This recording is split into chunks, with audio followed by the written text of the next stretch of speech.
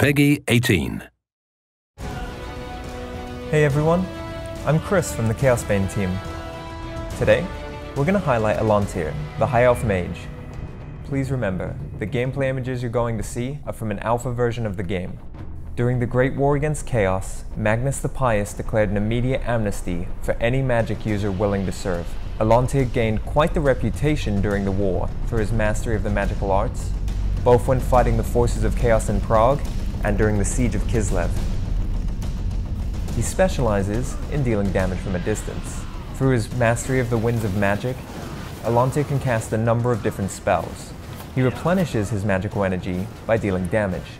The flip side is that his spells consume a lot of energy to cast.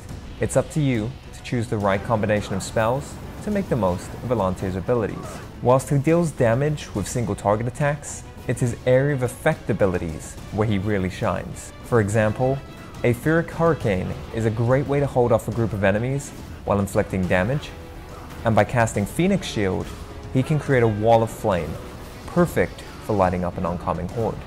As a ranged caster, Elontir is vulnerable in melee combat, but he's not weighed down by the heavy armor of a soldier, making him much more agile, using both his dexterity and magic to stay out of harm's way. But don't worry, if you're running low on energy, he knows his way around a blade. Warhammer Chaosbane is great in co-op, and Elontir can play a vital role in the team.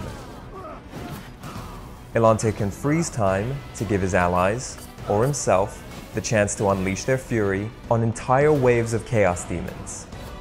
And by toggling the right stick of your controller, or by holding down the spacebar on a keyboard, you can move and direct your abilities to follow the enemy's movements. Elontir's most powerful spells come from the god Hoeth, the elven god of knowledge, learning, and wisdom, the patron god of wizards.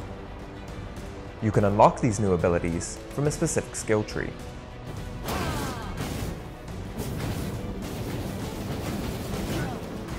But if that's not enough to crush the threat of chaos, then he can activate his Bloodlust abilities.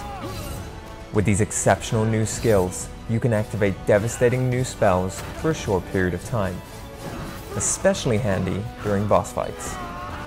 That's a wrap for the gameplay video dedicated to the High Elf Mage, Elontir.